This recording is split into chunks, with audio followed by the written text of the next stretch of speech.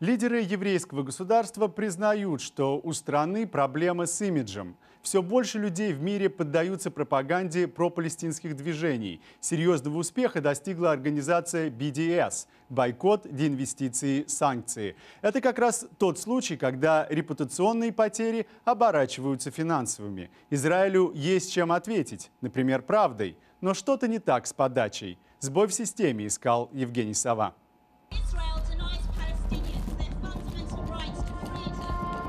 Единственной демократии на Ближнем Востоке в демократическом западном мире верят все меньше. Весь государственный пиар Израиля меркнет на фоне шумных акций движения BDS. Вот он, главный враг еврейского государства в битве за умы и сердца цивилизованного сообщества.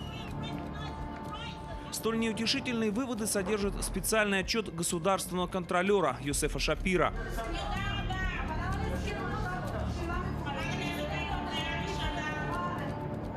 Комиссия Кнессета по госконтролю собралась на экстренное совещание, посвященное провалам израильской пропаганды. А чтобы придать встрече вес, на нее пригласили премьер-министра лично, который, к слову, уже больше года исполняет обязанности министра иностранных дел.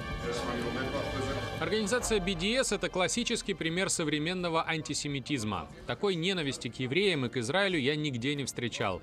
Я не сталкивался с антисемитизмом во время своих визитов в Китай, Индию, страны Африки – а знаете, почему там нет антисемитизма? Потому что эти страны уважают Израиль, и там понимают, что дружба с Израилем, развитым государством в вопросах промышленности и технологии, в будущем принесет им только пользу. Кажется, что сегодня в Израиле не осталось гражданина, который бы не был знаком с аббревиатурой BDS. Это пропалестинское международное движение с центральным офисом в Лондоне призывает к экономическому и культурному бойкоту Израиля. Акции BDS регулярно проходят в разных странах, а среди его активистов можно обнаружить даже коренных израильтян. Несколько лет назад известный в Израиле адвокат Ариэль Бульштейн основал организацию Face of Israel. Одна из ее задач как раз противостоять таким бойкотам на неформальном уровне. Ведь не будучи сотрудником МИДа, Ариэль понимает, он может говорить то, что не всегда позволено кадровым дипломатам. BDS – это не организация, BDS – это бренд.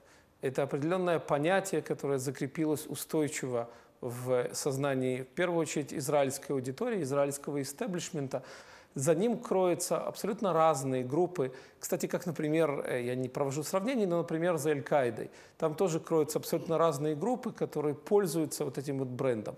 То же самое касается BDS. Разные группы в разных странах с разной степенью влияния, между которыми есть один общий знаменатель – ненависть к Израилю и попытка нанести ему как можно больше ущерба посредством бойкотов, посредством дискриминации израильской продукции или представителей Израиля. Они активны 24 часа в сутки, 7 дней в неделю, 365 дней в году. Этот рекламный видеоролик, опубликованный израильским МИДом, рассказывает о том, как не просто быть дипломатом еврейского государства. Борьба с ПДС – одна из трудностей, которую, по мнению госконтролера, можно было бы преодолеть, если бы не действия самого Нетаньягу. В 2016-м функции израильской пропаганды по решению премьера были поделены между четырьмя министерствами. Наряду с МИДом этой работой занимается Министерство по стратегическому планированию, Министерство главы правительства, а также Министерство по делам разведки. Это как раз тот случай, когда лебедь, рак и щука пытаются делить и без того скудные бюджеты на разъяснительную работу. Израиль по-прежнему не выделяет достаточные средства на борьбу с э, различными видами информационных и пропагандистских угроз, не только со стороны BDS. Действительно, тут, если сравнить, э, по крайней мере, э, тот размер инвестиций, которые вкладывает палестинская автономия – в антиизраильскую пропаганду, э, с тем, что Израиль вкладывает в отражение этих информационных вызовов, можно понять, что, по крайней мере, со стороны Израиля средства пока недостаточные.